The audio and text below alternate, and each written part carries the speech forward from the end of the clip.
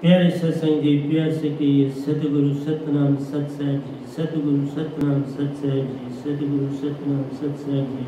बोल सतगुरुदेव महाराज की जय, सतगुरुदेव महाराज की जय, सतगुरुदेव महाराज की जय। आज के सत्संग के आनंद की जय, आज के सत्संग के आनंद की जय, आज के सत्संग के आनंद की जय। मैं सभी ब्रह्मांड के हंसों को निज धाम के परमहंसों को निज धाम के सतपृष्ठ के चरणों में कोटि कोटि प्रणाम है। वे ही आपको जगाने के लिए चेष्टा कर रहे हैं। ये गदा भाई केवल निरक्षर शब्द को अक्षर में बदल के आपको दे रहा है ताकि आप समझ सकें कि क्या संदेश सतपुरुष का हमारे को आ रहा है। वही सब कुछ कर रहे उन्हीं की कृपा से सब है। मेरा मेरा हक कहीं भी कुछ करना नहीं है। तो आज प्यारे सत्संग पंद्रह आठ बीस इक्कीस है और आपके सामने वही प्रेम के जो दोए थे, उनको मैं आगे ले जा रहा हूँ। पाँच तक कल हमने करे थे और आज हम जो है उसके आगे चलने की चेष्टा कर रहे हैं तो प्यारी सत्संग जी पूरे ध्यान से श्रवण करने की कोशिश करिए, प्यारी सत्संग जी यही कह सकता हूँ मैं। और ये सारे द्वय प्रेम और भक्ति के विषय में। अभी वही चल रहा है, क्योंकि ये छोटा सा दायरा नहीं है, बहुत बड़ा है। इसी में तो इंसान फंसा हुआ है समझ नहीं पा रहा मैं कैसे भक्ति करूँ, कैसे चलूँ। तो आइए चलते हैं। पांचवा द्वया हमने करा था, सुख दुख दोनों परीक्षाएँ हैं। सुख बिन परीक्षा मत जान। सुख दुख से बड़ी परीक्षा, सुख की पकड़ महान। तो दुख परीक्षा नहीं है सुख ही तुम्हारी परीक्षा है, क्योंकि सुख में तुम भूल जाते हो और दुख में तुम पकड़ना चाहते हो। बड़ी विचित्र बात है। सुख में अपने मज़े लेते हो, उसी रंगरीलियों में रहते हो, मज़े में रहते हो, मालिक का कोई ध्यान नहीं आता, लेकिन जब दुख आता है तो तब तुम उसको पकड़ते हो। तो वो कैसे फिर पकड़ में आए? सुख में सिमरन ना किया, दुख में करता जात एक कबीर तम दास की, कौन सुरे फरियाद? सुख में सिमरन, करो तो बात बनती है। दोस्ती होती ही सुख में है। किसी से तुमने लेन देन करना है तो सुख में ही होता है ना। वो दोस्तियाँ तुम संसार की सारी करते हो, पार्टियाँ कर रहे हो बड़े बड़े जश्न कर रहे हो, बड़ा कुछ कर रहे हो, लोगों को निमंत्रण कर रहे हो, खुद भी जा रहे हो, लेकिन अपने उस मालिक को जिसके कारण तुम्हें ये सुख मिला, दिल भर के लिए तुम भूल जाते यही अडम्बना है। इसलिए सुख की पकड़ है, उसमें तुम्हें कोई और चाहिए नहीं। बड़ी सख्त पकड़ है तुम्हारी। तुम ज़रा भी उसे छोड़ना नहीं चाहते, चूस लेना चाहते हो पूरी तरह से उस सुख को। इसलिए तुम दुख में ही मालिक को याद करते हो तो फिर कौन सुने फरियाद यही अडम्बना है। ये दोनों चीज़ें संग संग हैं अंदर। लेकिन हम समझते हैं कि अब हमारा, हम संपन्न हैं, बड़े ओहदे पर हैं, सब कुछ है। अब हमें क्या चाहिए किसी से? अब हमें किसी से क्या लाभ लेना है? अब हम ठीक है, अपने मज़े में हैं। और जो छोटे गरीब गुरबे सरबंदी होते हैं, उनको नज़दीक भी नहीं आने देते। उनको दरवाजे से बाहर निकाल लिया जाता है। तो फिर ये तो बड़ा टेम्परेरी फ़ेज़ होता है। सुख का फ़ेज़ बड़ा छोटा है। ये क्षीण बंगुर है। और ये तुम्हारे अंदर परत दर परत सुख दुख बैठे एक परत हटती है, दूसरी चल पड़ती है। तुम कभी ये नहीं कह सकते कि मैं सदा सुखी हूँ। मैंने बड़े बड़ों को देखा। खत्म होते देखा, बिल्कुल ज़ीरो होते देखा अपने जीवन में। कई मकान दकाने सब कुछ होते हुए देखा, सब कुछ सब कुछ लटा के होश में आए तो क्या हुआ? फिर थोड़ा होश में थोड़ा आए हो तो तुम मतलब के लिए मालिक को पकड़ रहे जबकि वो कहीं गया ही नहीं। सब कुछ तुम्हारे अंदर है। तुम्हें पूरी तरह से उसने भरा हुआ है। लेकिन हम ही उसकी पहचान नहीं करते तो फिर वो क्या करेगा? इसलिए प्यारे सत्संग जी, सुख, मैं इस तरह पकड़ो कि ये हमें सुख नहीं मिला, ये उसका एक छोटा सा तोहफा है और उसका धन्यवाद करो पल पल धन्यवाद करो। इवन दुख के में भी धन्यवाद करो। जैसा तू रखेगा, वैसा मैं चलूँ। तेरा भाड़ा मीठा लागे। जिस भाने में तू राखे, वो मीठा लागे तो बात बनती है। वही मीठा मीठा खुद खाते हो, कोड़ा, कड़वा कड़वा थू कोड़ा तो उसको फेंकना है। तो इसलिए प्यारे सत्संग जी बात नहीं न बनेगी। इसलिए कहा जिनको ये बात समझ में आ गई, वो भक्ति में चल पड़े। जिनको ये बात नहीं समझ आई, वो अटक गए। एक नहीं बटका, दो नहीं बटके, बटका, फिर कुल संसार, सारा संसार ही भटका सिर्फ़ चाहता है मुझे सुख मिले। मुझे दुख ना मिले, सुख। जहाँ सुख है, वह दुख तो साथ ही है। दुख के बिना सुख होता नहीं। बस बड़ा थोड़ा सा फील होता है और फिर वो आ जाता है। फिर उसके बाद फिर तुम्हें सुख आ जाता है। ये चलता रहता है। सुख दुख। धूप और छाँव की तरह है कि इस समय सूरज एक जगह है तो छाँव दूसरी जगह पड़ थोड़ी देर के बाद सूरज और अपनी बदलती तो धरती है, सूरज नहीं बदलता। तो धरती अपनी जगह थोड़ी बदलती है रेवोल्यूशन में तो अब छाया किसी और जगह पड़ रही है। तो ये धूप और छाया जो का खेल है सुख और दुख। ये समझ में आ जाए तो पार हो जाते हो, न समझ आओ तो रार रहते हो। और पार होते हो तो फिर ऐसा लाभ ही लाभ है फिर। पूर्ण मोक्ष की दात जब पालोगे, उससे बड़ा लाभ है क्या? मैंने पहले भी आपको बोला कि आपके अंदर जो विकार, प्रेम और भक्ति, ये बड़े जुड़े हुए हैं आपस में। इनको अलादा नहीं किया जा सकता। सिर्फ़ समझना और चलना होता है। हमारी समझ क्या है अपने विषय में?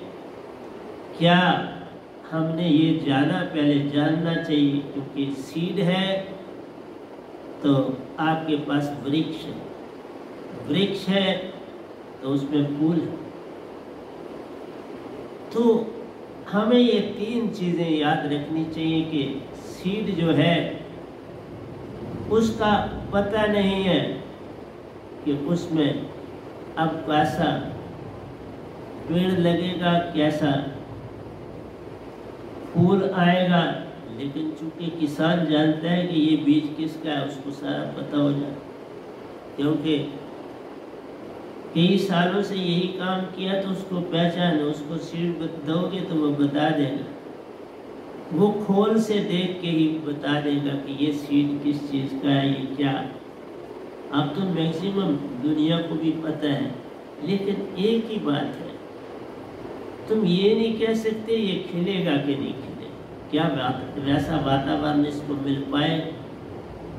ये वातावरण देना भी तो तुम्हारा काम गुडाई हुई हो, पानी का इंतज़ाम हो, सूरज की रोशनी पड़ती हो, खुली जगह हो तो फिर ही बीज जो है वो फूले और फले और एक चीज़ और याद रखो, जो बीज है, वो पिता समान है, और जो अंकर उसमें से निकलता है, वो बेटे और बेटी समान। इसलिए बाप का संग साथ है।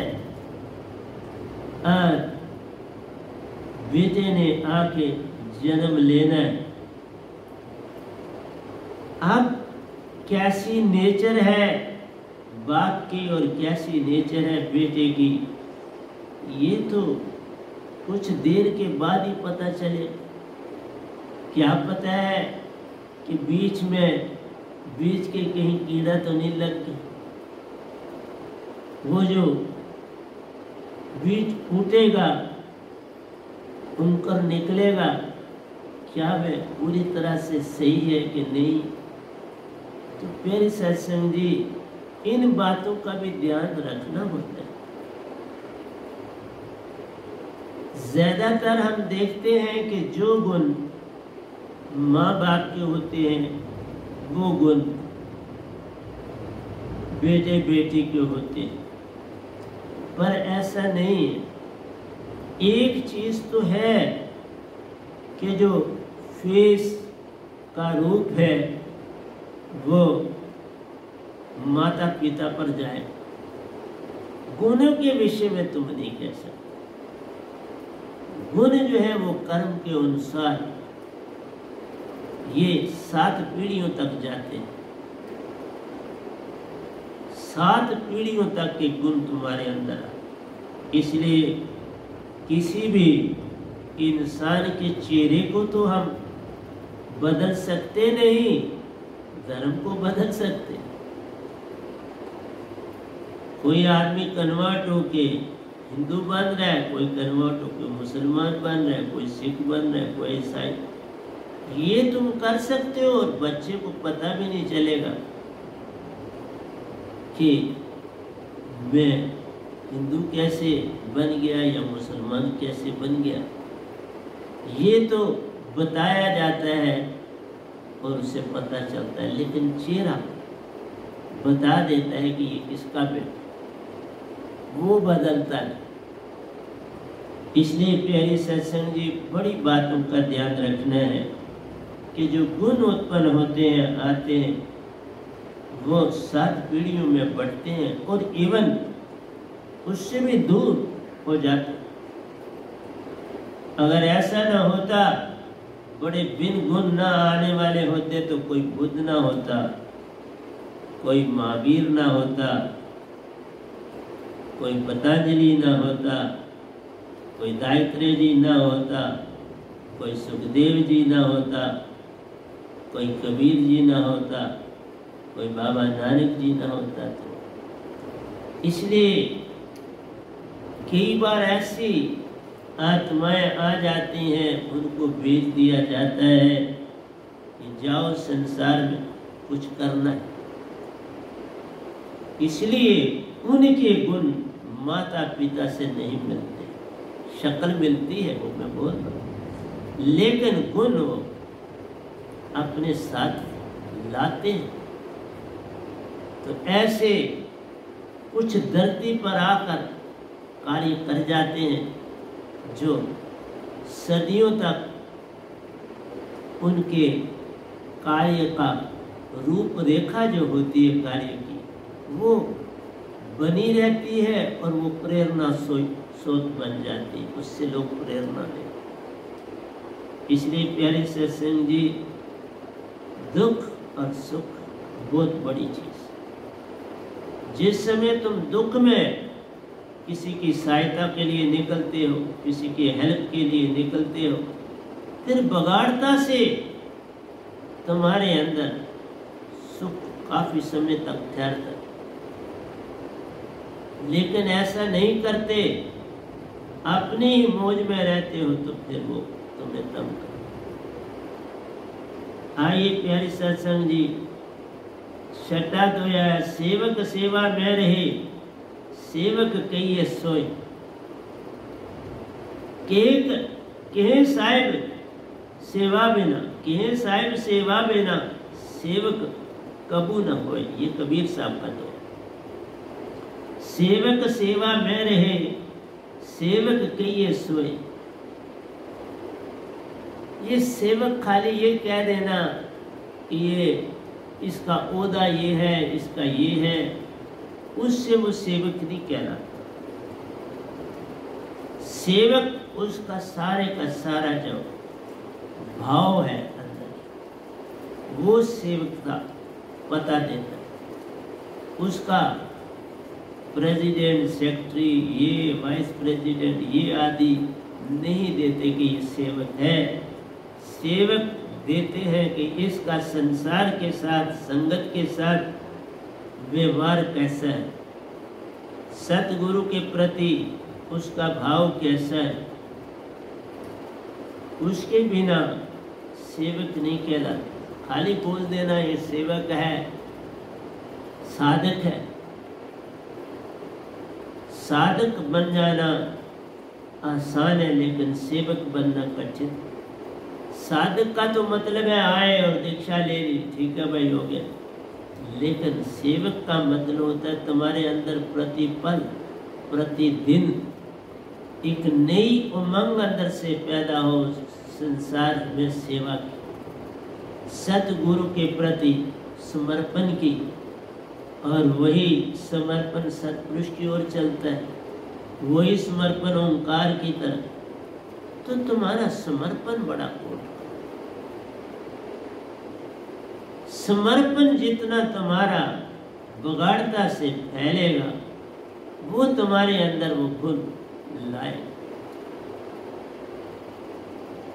नहीं तो प्रहलाद और ध्रुव जैसे बच्चे कैसे आते संसार में? माँ बाप तो क्रूर थे। वो तो नुकसान और हानि पहुँचाने का काम करते थे। लेकिन जो बालक आए, वो पूरी तरह से रूहानियत लेके आए।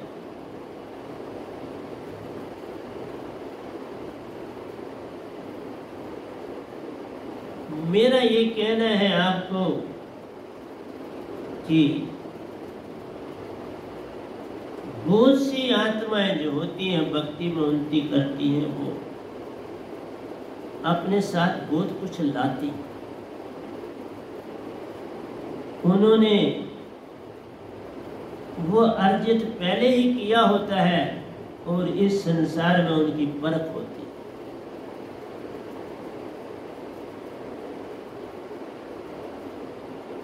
हरनाकश, और उसकी, उनकी बहन होली, आपको पता है कि प्रहलाद को पहाड़ों से गिराया गया, नदी में दबोया गया, अग्नि में जलाने की चेष्टा करेगी कारण क्या है ये?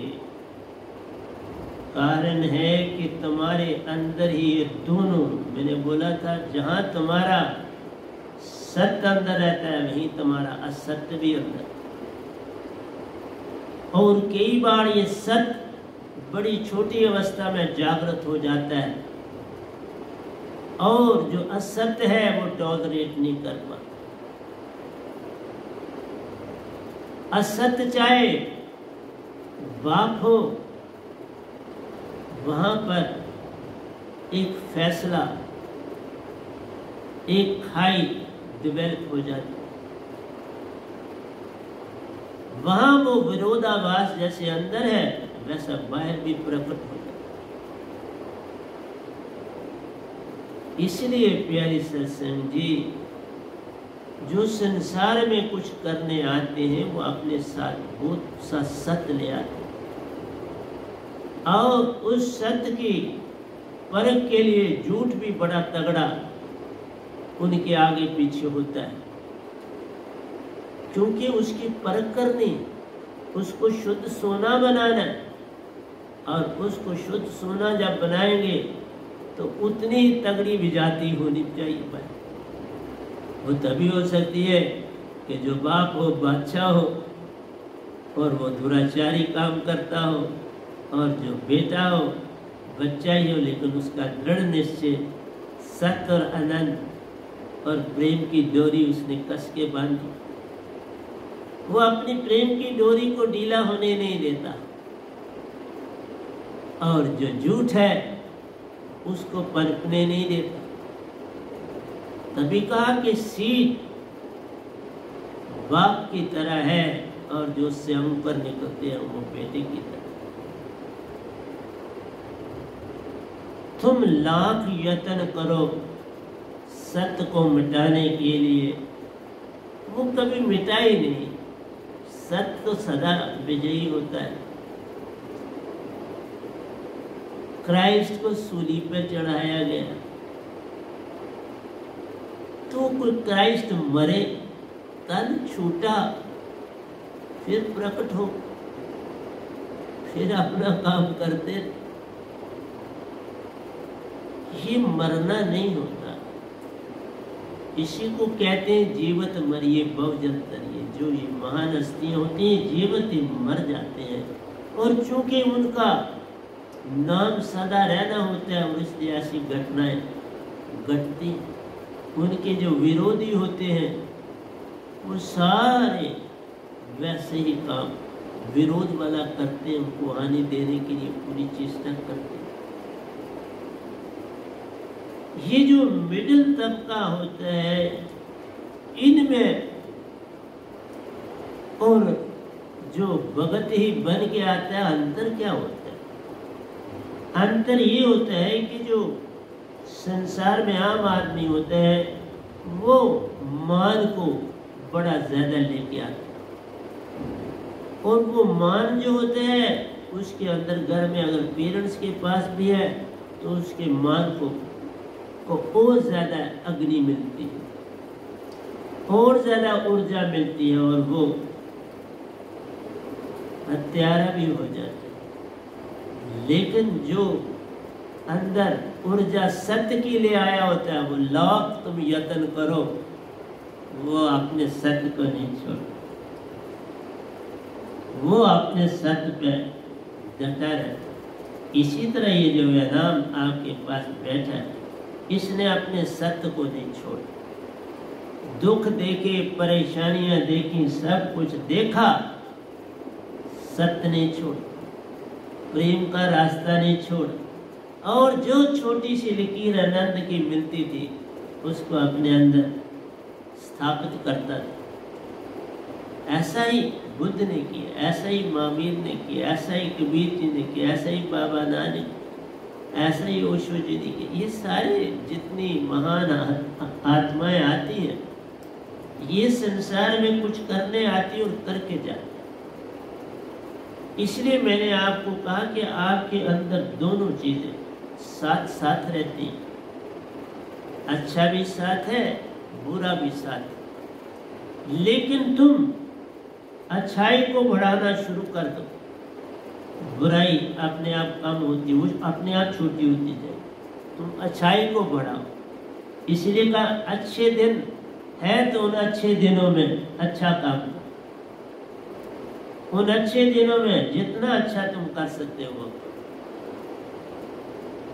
इसलिए सेवक सेवा में रहे सेवक के ये खाली सेवक नहीं कि सेवा करता है, झाड़ू पोछा मारता नहीं, ये सेवक उसके अंदर सफ़ाई हो। वो प्रतिपल आत्मिक बनता चला जाए। और ज़्यादातर क्या होता है, आप मन वाले बनते चले जाए। आत्मिक नहीं बन इसलिए ज़्यादातर जो भक्त संसार में हुए, वो मन के ही हुए। बड़े थोड़े हुए जो आत्मिक की तरफ़ चले और आत्मिक को चेतन अपना भी किया और लोगों का वो जैसे कबीर साहब हुए, रविदास जी हुए,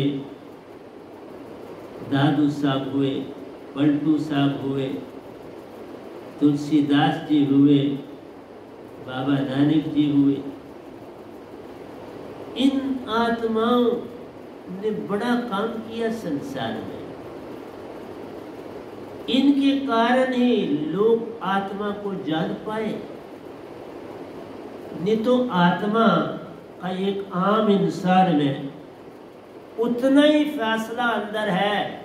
जितना के इस धरती से निज दाम का है। तुम उसका इस्तेमाल ही नहीं कर पाए तो वो इतनी दूर चलेगी। वो आस्ता आस्ता आपसे दूर चलेगी और आप मन भी रहे। इसलिए जब भक्ति की बात मैं कर रहा हूँ तो मुझे ये चीज़ें समझानी है आपको कि तुमने आत्मा को पास कैसे लाना है? वो तो सदियों से बहुत दूर है। खाली ये कह देना कि ये प्राण श्वासा लेने से, बात नहीं बनती श्वास तुम लेते हो, लेकिन उसका जो दूसरा अंग सुरती है, वो अंदर बॉडी में काम करते हुए भी तुमसे अरबों और खरबों मिल दूर। क्योंकि तुम जो खुद थे लोग उसका फ़ायदा ले रहे हैं, मन उसका फ़ायदा ले रहा है, इंद्रियाँ उसका फ़ायदा ले रही लेकिन तुम्हारा अपना ही रूप है और तुम उसका कोई इस्तेमाल नहीं कर तुमने उसको धिकार दिया, तुमने उसको नहीं पकड़ा। ये अचंबे हैं जो मैं समझाने की चेष्टा कर रहा हूँ, जो जिन पे कोई बोलता ही नहीं, मैं वो बोल रहा इसलिए जो मेरे दुए होते हैं, उनमें एक अलग सी किरण होती है। इसलिए कोई कहता है, भाई, खुदा तो तुम्हारे पास ही है। कहाँ तुम उससे बिछड़ा हो तुम खाम खा परेशान होते लेकिन वो भूल जाता है कि इवन तुम विकारों में रहते हो तो ये निरंकार भगवान भी तुमसे बड़े अरबों और खरबों में दूर होता ही। तुम अपनी आत्मा की तो बात ही ना करो इवन मन, जिसने तुम्हारे अंदर प्रेम उत्पन्न करना है, वो भी बड़ा दूर जब तक तुम एक पत्थर समान हो, एक सीड समान हो, तुम विकारी हो और प्रेम कहाँ से आए? और प्रेम तुम्हारे अंदर आएगा नहीं तो मन भी तुम्हारे से बहुत दूर है। अंदर रहते हुए जिसका इस्तेमाल ना करो बहुत दूर जैसे कई बार तुम देखते हो, एक कैंची आपने लाई। लाई नहीं, लाई बाज़ार से, और आपने कहीं रख दी। और चार, पाँच साल के बाद जब ने आपने जनरल सफ़ाई की तो वह कैंची आपको मिली। पाँच साल तक आपने उसको नहीं देखा। और हो सकता है आप उसके साथ रस्टिंग लगी क्योंकि चीज़ को इस्तेमाल ना करो तो रस्ट लग जाती क्योंकि वो जुड़ी रहेगी तो कहीं जो मॉइस्चर है, उसको रस्टिंग कर देती अपने आप। और पक्का उसको रस्ट लगी और आप ये कहोगे यही तो जो, ये जो सीजर थी, ये जो कैंची थी, ये तो मेरे पास ही थी। पास थी, लेकिन तुम्हें पता ही नहीं। तुम उसका इस्तेमाल ही नहीं कर रहे तो पास कहाँ थी? वो तो जैसे उसी दुकानदार के पास ही पड़ी थी।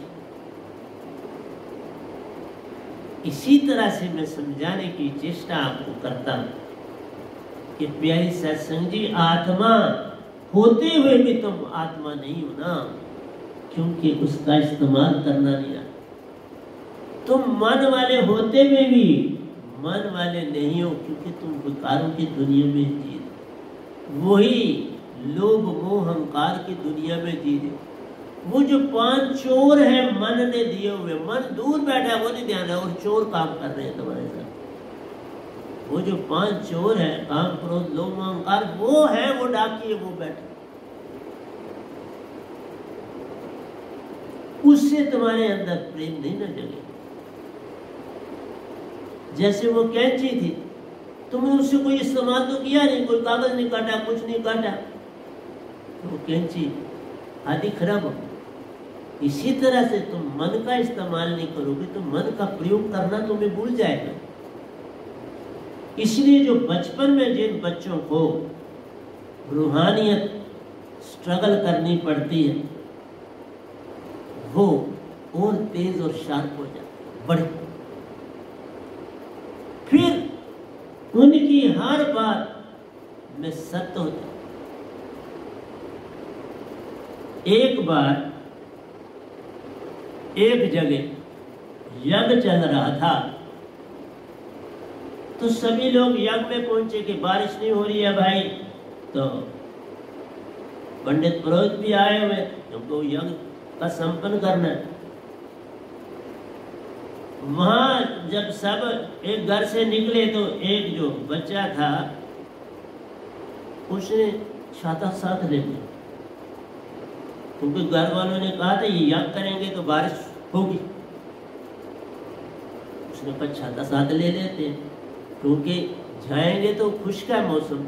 जब वहाँ वहाँ पहुँचेंगे, यज्ञ होगा तो फिर वर्षा होगी तो फिर हम भीग जाएँगे तो ये छाता काम आएगा ना? छाता ले गया। वहाँ पंडित पुरोहितों ने उसको देखा। बोला, ये क्या करा? ये छाता क्यों ले वो बड़ा हैरान हुआ कि अभी अभी तो मुझे कहा गया था कि भाई यज्ञ कर रहे हैं तो यहाँ बारिश हो जाए। यज्ञ करने के साथ ही बारिश हो जाए। तो आप भी भला बताओ, क्या किया जाए? बच्चे ने कहा, कुछ नहीं और उसको कहा ले जा छाता। वो बेचारा गया घर और छाता छोड़ के आया। आप उसकी दशा आप देख लो। पंडित क्रोध पे क्या करे उसके अंदर जो एक सत्य था, उसको भी खत्म कर दी। इसलिए तुम्हें विश्वास होता नहीं और तुम दिखावे के लिए कुछ करते हो। लेकिन अगर कोई पूर्ण विश्वास वाला हो तो वो घटना घटती। पक्का घटती तुम्हारा विश्वास संपूर्ण होना चाहिए वो एक बच्चा जो था जिसके पास विश्वास था, उसके विश्वास से बारिश हो सकती थी, लेकिन बारिश नहीं हुई। क्योंकि छाता ले तुम्हारी अकल की दात देनी चाहिए कि आप क्या क्या ड्रामे संसार में करते और उन ड्रामों से मिलता क्या है? स्वाय दुख के कुछ नहीं मिलता। के कबीर सेवा बिना सेवक कबू न होए। अब ये सेवा कैसी है? ये बात तो सोचने वाली। सेवा बिना सेवक कबू न हो क्या सेवा? सबसे पहले तुम्हारी सेवा अपनी। कि तुमने जो इतनी बड़ी दात है, उस पर चलते हो। जो सेवा का मतलब ही है कि जो दात तुमको मिली है, जो पल पल तुम्हारी आत्मा को पास रखे हुए, ये शब्द जो है, तुम्हारी आत्मा को बाड़ी में रखने के लिए। कि दूर ना आत्मा चले जाए, इसलिए इस शब्द को रखो, ये आत्मा इसके साथ बंध जाए और आस्ता आस्ता पूरी तरह से बंध जाए। जैसे आप किसी से शादी करते हो तो वो पत्नी घर लाते हो, वो तो दूसरे घर की थी। आप इस घर में बंद गई, आप इस घर में रहने उसे क्यों? शादी के बंधन से बंधी तो इस घर से बंध गई। यही तो मैं कह रहा हूँ कि जे सारे शब्द जो दाद है, इसके बंधन से आत्मा बंध गई। तो इसी बाड़ी में रहेगी ना? इस बाड़ी में रखने के लिए आत्मा को जो हज़ारों अरबों खरबों मील का फासला पड़ चुका है, वो खत्म हो जाए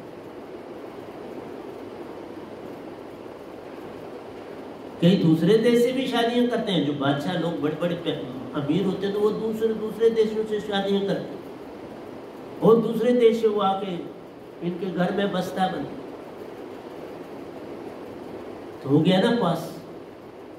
इसी तरह से तुम्हारी आत्मा तुम्हारे साथ नहीं है। यही जो पंडित प्रोत जो बड़े बड़े गुरुआ कहते हैं तो वो तो तुम्हारे साथ ही रहता है। नहीं, साथ नहीं रहता। साथ होते हुए भी साथ नहीं। जिसका तुम प्रयोग ही नहीं करते, वो साथ कहाँ रहता कब तुम आत्मा का प्रयोग करते जो साथ रहे? तभी तो कहा मैं आप आत्मा की बात करूँ, पहले आत्मा तो समझा लू। फिर भक्ति शुरू होगी। आत्मा को ही नहीं समझा तो भक्ति कहाँ से होगी? मैंने पहले प्रेम की जितनी बात समझा सकता था, आपको समझाई कि मन भी साथ मन को साथ कर लिया तो प्रेम। तुम्हारा मन तुम्हारे साथ है, बहुत अच्छी बात और आप उसका तुम सही इस्तेमाल कर रहे हो। तुम प्रेमी बन गए। अब वो प्रेम के अलावा और कोई काम करेगा नहीं। तुम्हें कहीं भरमाएगा नहीं, कुछ नहीं करेगा, क्योंकि तेरे पास सार शब्द की दात है, जिसने इस मन को प्रेमी बना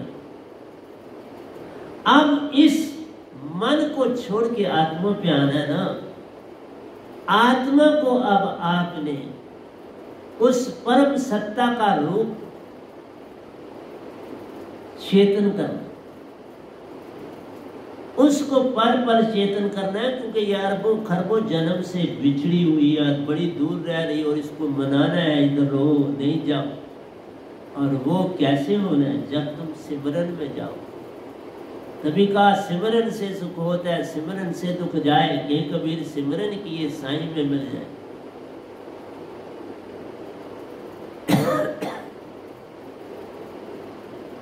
सिमरन की गति यूँ करे, जैसे नाद कुरन पद पोक भी बिछड़े ना, प्राण तजे ते सबने बोला था कि हिरण बंसरी का बड़ा मतवाला, टांगों में बेंट नहीं है। गिर जाए तो कुछ नहीं सकता। ज़मीन पर गिरा तो उसे कोई उठाए तो उठेगा, वो खुद नहीं उठ सकता। इसलिए तुम, तुम्हारी टांगे भी वैसी। तुम्हें जब तक खड़ा ना किया जाए, तुम खड़े नहीं मैं तो बड़ी चेष्टा करता हूँ, लेकिन तुम वही मैं देखता हूँ। बस भट सत्संग सुना। कुछ ना जीवन में, धारा तो बहाओ, दूसरा सत्संग नहीं आ जाए। तुम कोई बंदे हो। एक सत्संग तुम मेरा पूरा समझ लो, तुम्हारा जीवन बदल जाए। पर तुम क्या चीज़ें हो? ये मेरी समझ से बाहर है। इतने सोए हुए हो कि पूछो मत। इतने मैंने सत्संग दे दिया सुनो। उनसे बदलो अपने आप को। सत्संग सुनने नहीं है, उनसे अपने आप को बदलना है। अपने जीवन की जो डोर है, उसको साफ़ करना है पल पल। उस मीन धागे को साफ़ करना है और जोड़ के रखना है। इसलिए प्यारी सत्संग जी, क्या बताऊँ, आप सत्संग क्या लेते हो? अब पता नहीं कब मैं बंद कर दूँगा। के कबीर सेवा बिना सेवक कबू न हो। तुम सेवा ही सिमरन करो, सिमरन सेवा। और सेवा भूल जाओ।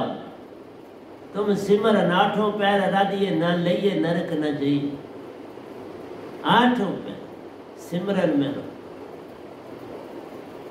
और ऐसा सिमरन हो जैसे नाद पुराण प्यारी सत्संग जी, जीवन बदलो। तुम ये ना को आए सत्संग नहीं आया जी अभी सत्संग तुम सत्संग, एक मेरा सत्संग अगर जीवन में डाल दो तो तुम्हारा तो जीवन बदल जाएगा और तुम समझते ही नहीं।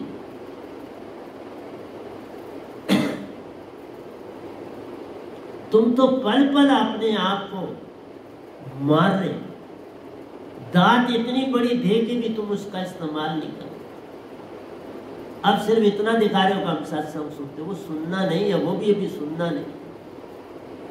सुनना जब तुम्हारा होगा, तुम्हारी चाल बदल जाएगी, तुम्हारे कपड़े बदल जाएँगे, तुम्हारे बालों के ढंग बदल जाएँगे, तुम्हारा घर में, परिवार में रहने का तरीका बदल जाए। सब कुछ कुछ तब्दीली है तुम्हारी तो ये बताओ, एक भी मुझे सत्संग वाला बता दे, मेरी ये तब्दीली। तुम्हारे अंदर तब्दीली आने चाहिए तुम्हारे ड्रेस से, तुम्हारे बैठने, उठने से, तुम्हारी बातचीत से। तुम उसी तरह बातें करते हो जैसे तुम पहले कोई तब्दीली नहीं। मुझे, मैंने नहीं कोई आप में तब्दीली देखी। आपने आपको बदला ही नहीं। इसलिए सेवक का मतलब नहीं है तुम बाहर जाके लोगों की मदद को बात था। तुम अपने सेवक बन। सबसे पहले निज की पहचान करो। निज को जानो कि तुम आत्मा हो। फिर उस आत्मा को संभालो अंदर, सार शब्द से। जब संभालोगे तो उसको चेतन रखो। जब उसे चेतन रखोगे तो जो काम करो, चेतना से करो। जो काम करो, याद रख के करो। ताकि ऐसा ना अभी कोई चीज़ थी स्पेक्ट पड़ी हो तो तुम स्पेक्ट ढूंढना शुरू कर पेन कानों में लटकाया हो तो पेन ढूंढना शुरू कर दो वही होता है फॉरगेटफुलनेस तुम जो काम करते हो, बेहोशी में करते हो तो भूल ही जाते हो, चश्मा भी भूल जाते बैलगाड़ी बुला रही है और तुम चश्मा ढूंढ, और चश्मा तुम्हारे कानों में अटका हुआ है, आँखों के साथ जुड़ा हुआ है। इतनी गहरी नींद में तुम सोते हो और कहते हो सत्संग सुनो। सत्संग सुनो तो मेरा जो एक एक दो है बहुत जगाने के लिए बहुत कर सकते हैं। इसलिए बोला, आत्मा तुम नहीं हो। तुमने अरबों और खरबों साल से आत्मा का इस्तेमाल ही नहीं किया तो वो तो खुद पड़े उसकी इतनी दूरी हो गई है तुमसे कि जैसे वो निजदाम में ही रह रहे वो तुम्हारे पास नहीं है, तुम खाली। तुम खाली डब्बे भैया डाकिया डाक लाया डाकिया डाक लाया उसका इंतज़ार करे डाकिया कब डाक लाए? तुम पल पल भाव बन के लेने के लिए तैयार बैठे और कुछ करना तुम चाहते हो। इसलिए क्या बोलूँ कि सेवा क्या तुम्हें सेवा समझ ही नहीं आई तो मैं बोलूँ क्या? निज की सेवा है पहले। निज को जगाना, निज की पहचान करनी, मन को अपनी जगह रखना, विकार को अपनी जगह रखना और भक्ति की ओर बढ़ना। और भक्ति तभी बढ़ेगी जब तुम आत्मिक हो। आत्मिक हुए बिना निज की पहचान बिना तुम आत्मिक नहीं हो सकते। और ये अरबों साल का जो बिछड़ा हुआ था, वो कुछ दिनों में थोड़ा हो जाए। ये पल पल सिमरन में रहना है, तभी ये काम हो पाता। उसके बिना नहीं। आइए अगले दो पे चलो दो नैन महा झरना बने हर दो का लिंक है पूरी तरह से, ऐसे नहीं लिखा गया। दो नैन महाझरना बने, उठी वीरे विराग की प्यास।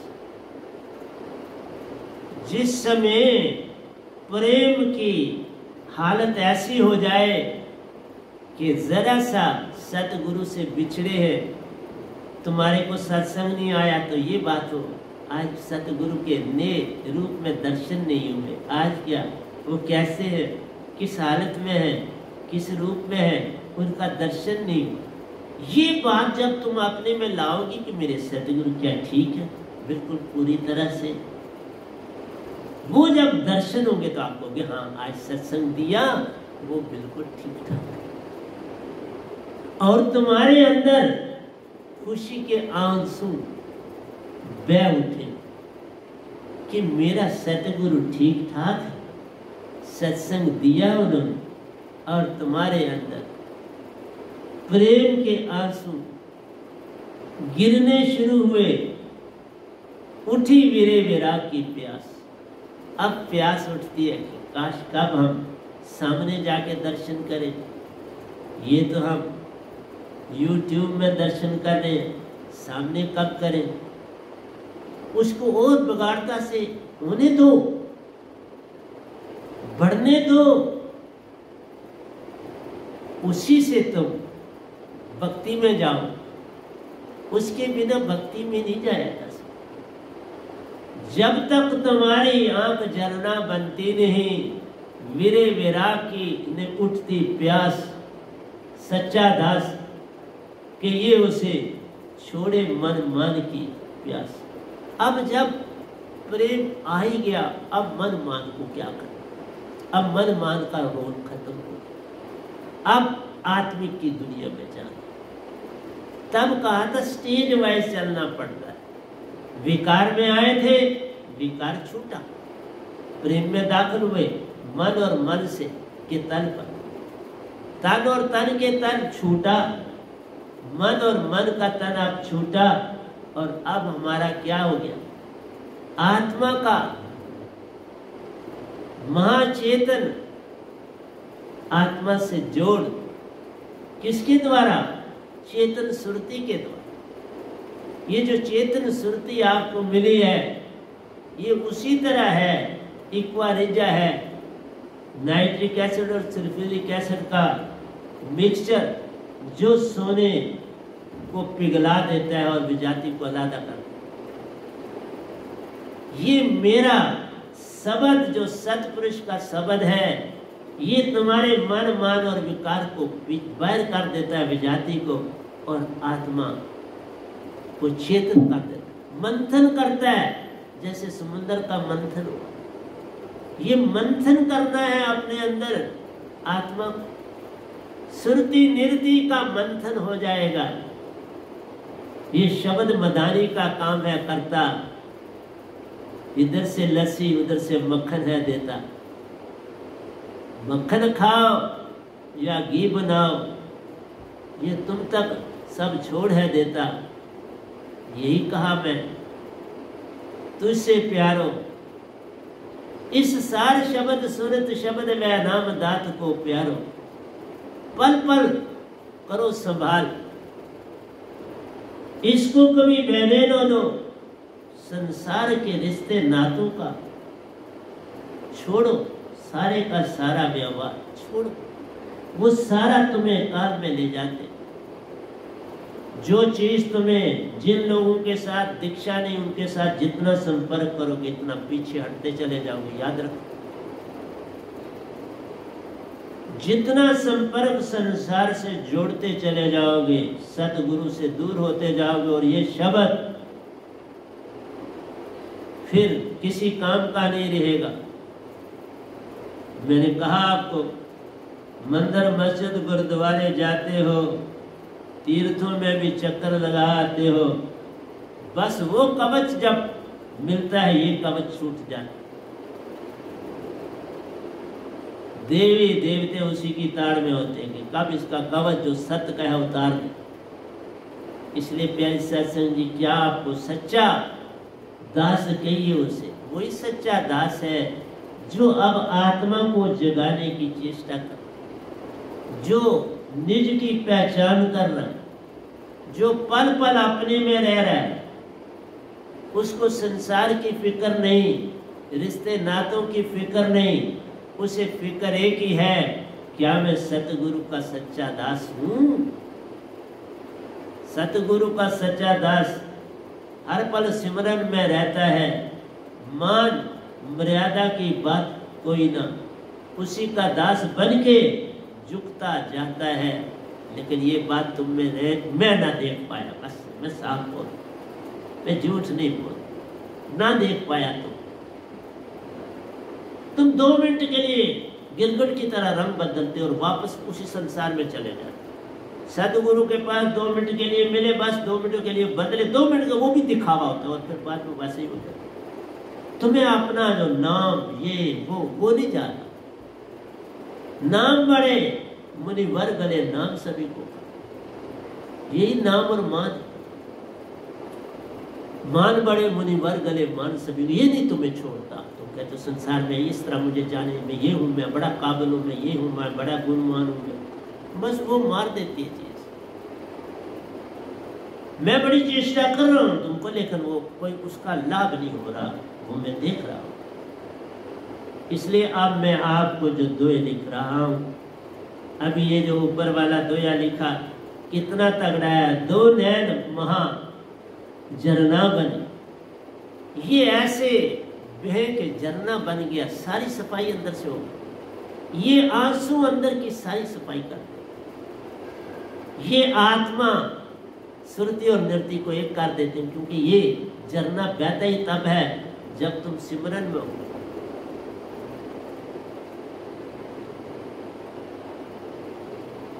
सिमरन बिन बात बने नहीं, कोई कोटन करे उपाय।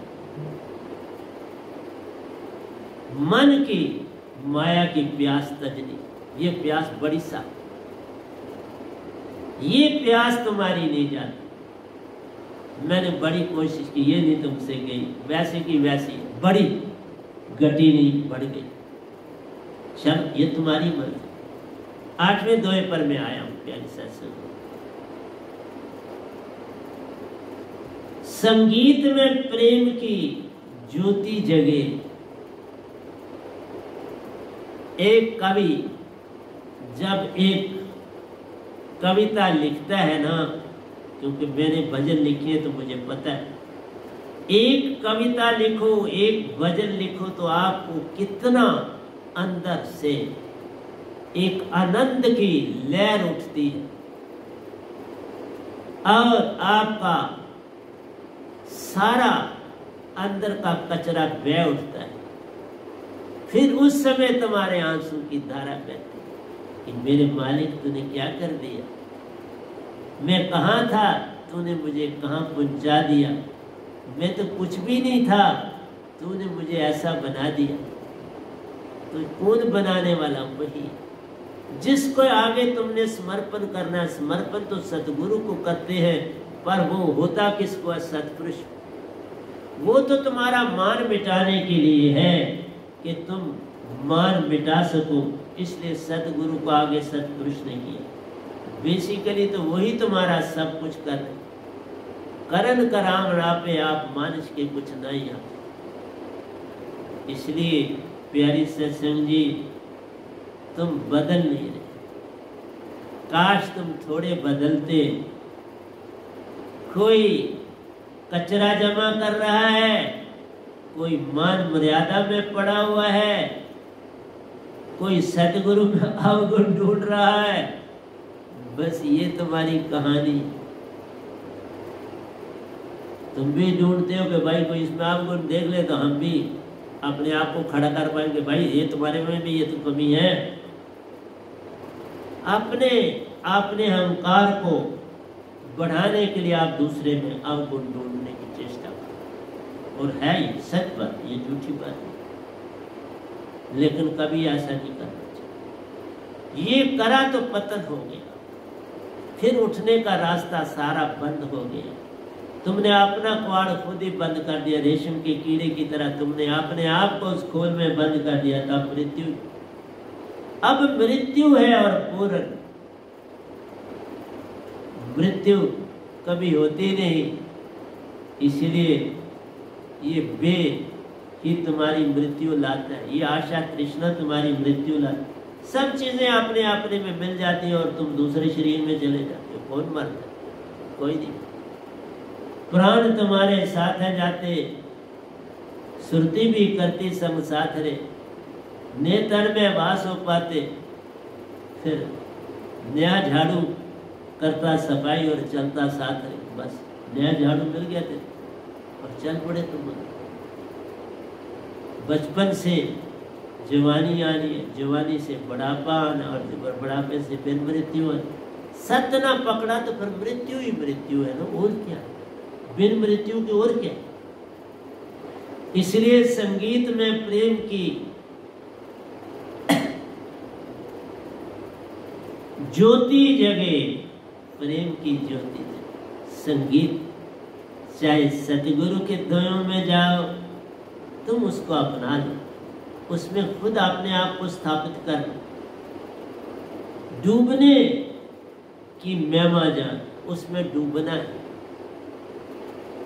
ये सागर बड़ा गहरा है, इसमें डुबकी लगाना। जितना नीचे जाते जाओगे, बर्फ़ पिघलती जाएगी और खत्म होती जाएगी और सुन मिल जाएगी। अंदर से अंदर जाते जाना है और सुन में अपने आप को स्थापित कर देना। अंदर बाहर हो।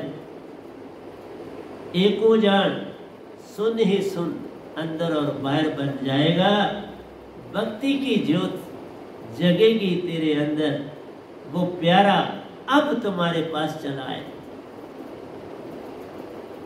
रामकृष्ण जब खेतों में जा रहे थे तो बगलों की कतार उड़ी और उन बादलों के बीच में से गुजरी तो रामकृष्ण जी, वो देख के रो पड़े और बेहोश हो कई घंटों के बाद उनको होश आई।